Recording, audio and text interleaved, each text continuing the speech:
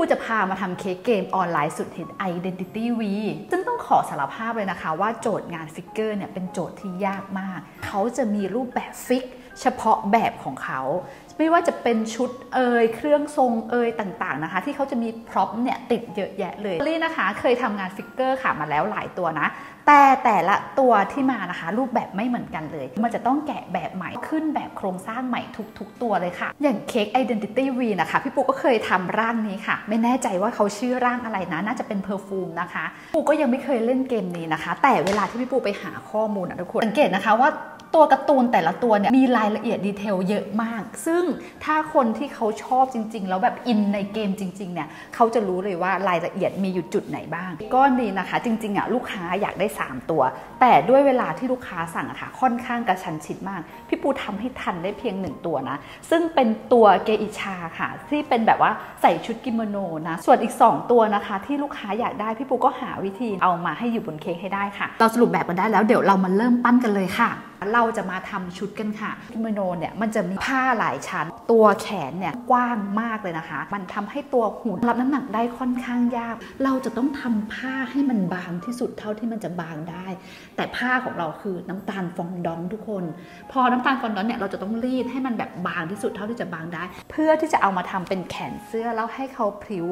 และที่สำคัญนะคะ ตัวน้ำหนักแขนเนาะที่ถือพัดอยู่เนี่ยเขาจะต้องรับน้ำหนักได้ด้วยค่ะ พอได้แขนเสื้อเสร็จแล้วนะคะ สิ่งที่เราต้องทำต่อไปคือ นิ้วมือเนี่ยจะต้องพยุงตัวพัดก็คือจะต้องจับพัดนะคะที่มีผู้อยู่ด้วยนะ เราก็ค่อยๆนะคะ ค่อยๆติดเขาให้มันอยู่ค่ะ แล้วก็ทิ้งเขาไว้ให้แห้งค่ะเขาถึงจะเซ็ตตัวอยู่ ด้านหลังนะคะเขาก็จะมีแผงยาวของเขาแบบนี้นะ ชุดเสร็จเรียบร้อยแล้วนะคะ ก็ใส่ในส่วนหัวลงไปค่ะ figure ที่อยู่ในเกมนี้นะคะเขาจะต้องสยองขวัญนิดนึงนะคะ สังเกตตรงตาพี่ปูนะจะไม่มีตาขาวทุกคนแต่ผู้หญิงใส่ชุดกิโมโนสวยๆเนี่ยก็กลายเป็นน่ากลัวแล้วนะคะ เพียงแค่เรานะไม่ใส่ตาขาวลงไป แล้วก็ทำตาให้มันดูโบ๋ๆค่ะ ส่วนบริเวณผมเนี่ยพี่ปูแบบว่าจัดตีโป่งแบบจัดเต็มเลยนะ เพราะว่าเกอิชาเนาะคือทุกอย่างเขาต้องเนียบอะคือเขาเป็นคนสวยเนาะ ตีโป่งปุ๊บแล้วก็ผมด้านหลังเนี่ยคือยาวแล้วก็ด้านหน้าเนี่ยมีจะงอยนิดนึงนะคะ สิ่งที่เราต้องทำต่อไปก็คือไปแต่งหน้าแต่งตา ผู้หญิงญี่ปุ่นน่ะเขาจะไม่ระบายสีปากแบบเต็มปากนะ โดยเฉพาะแบบว่า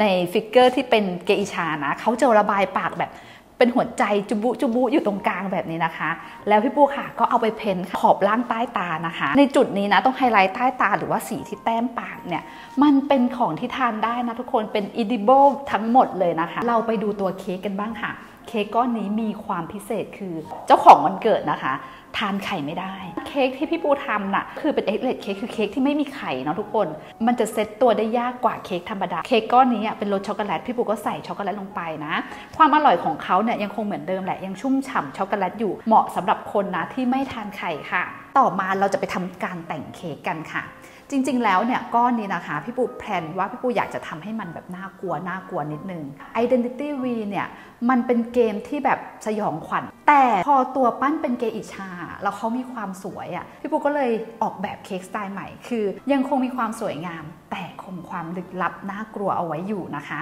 พี่ปูเลยคิดว่าพี่ปูจะเอารูปเกอิชานะ ตัวอื่นนะ มาปริ้นลงบนแบบเหมือนการ์ดในไพ่อะค่ะ แล้วเอามาตกแต่งนะ พอทำเอาเข้าจริง ๆ มันแบบว่าเป็น 2 มิติแบนๆ พอเอาไปแต่งบนเค้กอะเค้กมันดูไม่มีมิติเท่าไหร่ มันยังสวยได้อีกอะพี่ปูกก็เลยนึกไปถึงตัวละครที่ลูกค้าอยากได้อีก 2 ตัวตั้งแต่แรกนะ เอามาตัดไดคัตค่ะ มันจะดูมีมิติมากขึ้น แล้วก็เอาไปแต่งบนเค้กแต่พอไปดูหน้างานจริง ๆอะทุกคน เอาไปแต่งบนเค้กอะถึงมีตัวไดคัตอีก 2 ตัววางไปแล้วอะเค้กมันก็ยังดูล้นๆดูโล่งๆอยู่นะคะ พี่ปูเลยคิดไปถึงว่า เอ๊ะ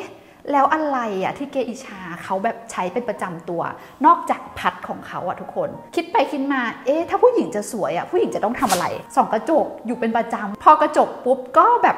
นึกภาพกระจกสมัยโบราณอะพี่ปูเลยเลือกที่จะเอากรอบตรงนี้มาทำสีทองค่ะ แต่เป็นทองแบบด้านๆนะทุกคนไม่ลงทองเงาค่ะ เพราะอยากให้มันดูแบบเก่าๆอยากให้มันดูลึกลับมากขึ้น และที่สำคัญนะคะ อยากต้องการความที่ให้มันตัดกับตัวเค้กนะ ที่พี่ปูเลือกมาเป็นสีแดงเลือดหมู สีแดงเลือดหมูตรงนี้พี่ปูได้มาจากตรงคลิปเสื้อของชุดกิโมโนเนาะแล้วก็ตรงพัดนะคะที่ เกอิชาถืออยู่นะ ซึ่งพอเอามารวมกันแล้วว่าทุกคนมันก็แมชกันมาก ๆ พี่ปูก็เติมพัทที่เกอิชาใช้อยู่เป็นประจำนะอยู่บนตัวเค้กด้วยค่ะ พี่ปูก็ได้เค้กเกอิชา Identity V มาแล้วค่ะนี่นะคะ เราจะทำการแพ็คเค้กกันค่ะ แล้วก็เตรียมส่งมอบให้ลูกค้าค่ะ